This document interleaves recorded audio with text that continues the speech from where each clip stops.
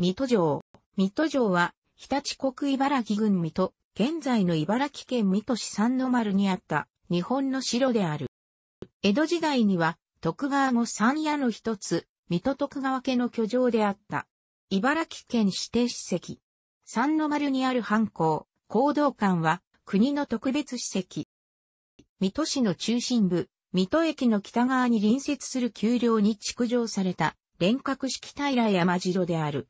北部を流れる中川と南部に広がっていたちなみ湖を天然の堀としていた。本丸の西側に二の丸が配され、さらに西に三の丸が配され、それぞれが中ら堀で仕切られていた。城郭は主に土塁と空堀で構成された戦国祈祷国の典型的な城である。日立国主、佐竹氏の後は、徳川後三夜の居城となった。尾張藩の名古屋城、紀州藩の和歌山城と違って、戦国威風が濃い連閣式の城である。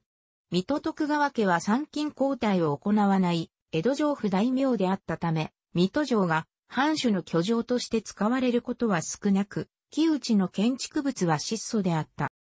江戸時代の御殿は、二の丸に現在の茨城県立水戸第三高等学校と、茨城大学教育学部附属小学校、附属幼稚園にまたがる形で存在した。三の丸には、藩校などがあり、本丸は主に倉庫として使用されていたとされる。本丸を中心として使用していたのは、江戸市の頃とされる。江戸近隣の城は幕府にはばかり天守建造はしないが、それは、五三屋の水戸も例外ではなかった。しかし、外見は三層、中は五階建ての五三階櫓と称す大型の櫓があり、天守閣の代用とされた。五三階櫓は、明治の解体を免れたが、太平洋戦争時の水戸空襲で消失し、以後再建されていない。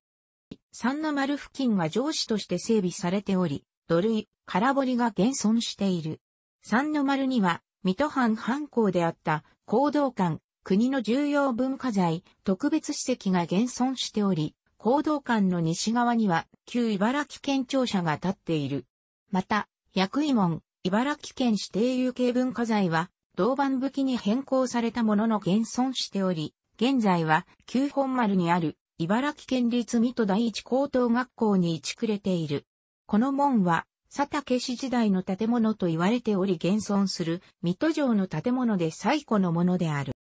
現在の城跡は文教地区となっており、立ち入り禁止のエリアが多い。水戸一高のほか、水戸三高、水戸市立水戸第二中学校、水戸市立三の丸小学校、茨城大附属小、幼稚園が建っている。三の丸小学校は、校門や兵、校舎の多くを和風にしている。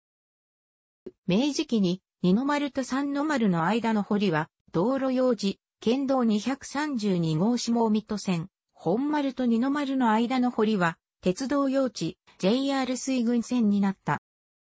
水戸城の五三階櫓の初代は三階物見と呼ばれる三重櫓であり、1764年、明和元年に消失した当時は銅板武器であったが、以前は茅武器であり極めて簡素であったという。消失後、1766年、明和3年に再建され三階櫓という実質上の天守となった。二代目の五三階櫓は、外観三重内部5階の最上重の入りもや以外の、破風のない相当型で、櫓台はなく、地面に敷かれた礎石の上に立っているものであった。下の部分、1階2階部分は生子壁であり、3階4階5階部分が白壁で、外見は三層、中身は5階であった。昭和戦前期までは残っていたが、1945年、昭和20年の水戸空襲により消失した。なお、空襲東太平洋戦争の戦災で消失した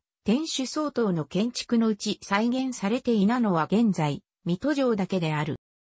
追記は古く、平安時代末期まで遡る。日立国の大城であった平国家の子孫である馬場助本により研究年間1190年から1198年に築かれたとされる。以後、大城市馬場氏の居城となった。このため、佐竹氏が入城するまで馬場城と呼ばれていた。1416年、応永23年室町時代に入り、上杉全州の乱で、当主の大乗万引は、上杉全州側に加担したが、足利幕府側についた江戸通り棒に敗れた。これにより、代わって江戸市が新城主となり、その支配は以後7代、約170年間続いた。以後、江戸市はたびたび主家である佐竹氏と対立する。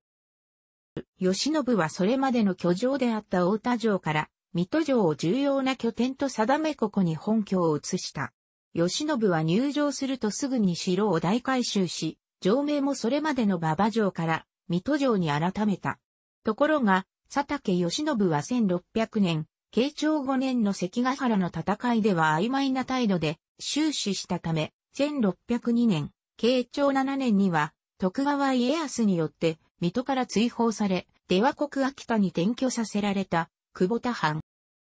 同年に家康は、欧州を睨む、高知として、伊尾の武田新吉を15万石で、水戸に入城させたが、翌1603年、慶長8年に死なく、没したので、十男の徳川頼信を20万石で入城させた。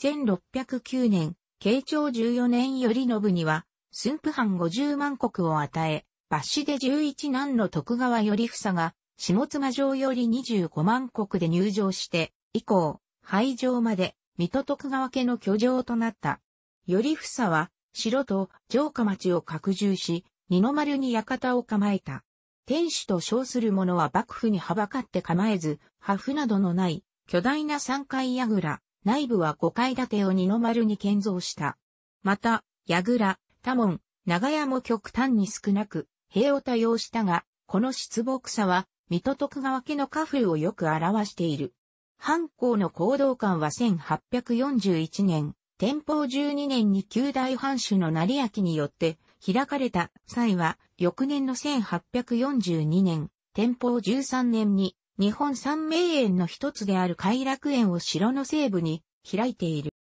幕末には、水戸藩の反論が分かれ、改革派の天狗党と保守派の諸政党の対立が起きた。1864年、源氏元年、ついに天狗党が、筑波山で挙兵し天狗党の乱が起こった。この対立は、明治維新まで続き、1868年、明治元年には、水戸城下で戦闘が行われ、行動館に立てこもる、諸政党を天狗党が攻撃した。この際に、城内の多くの建物が消失した。水戸城は1871年、明治4年の廃藩置県により、廃城となった。翌1872年、明治5年7月19日に、東京賃代の不評二個招待が駐屯し、東京賃代の第四分営となった。平成に入ってから、水戸市によって大手門などの整備計画が策定され復元などが進められている。2015年、大手門復元に向け寄付を募る一枚瓦城主が始まった。同年4月には、三の丸、杉山門が復元され、周辺も整備された。旧水戸城の城郭は、見学できる場所とできない場所に分かれている。楽しくご覧になりましたら、購読と良いです。クリックしてください。